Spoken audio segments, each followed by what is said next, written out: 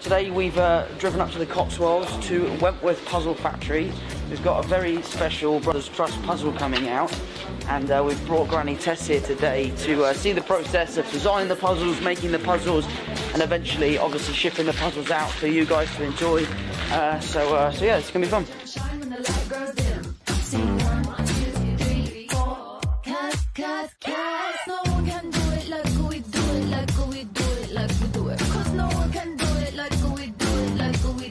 Like we do it. No do it like do. Just come from the Wentworth Wooden Puzzles factory to see the Brothers Trust puzzle being made.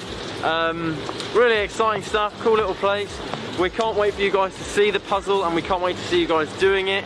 And uh, yeah, see if you can beat my record time of uh, which will be disclosed when the puzzle comes out.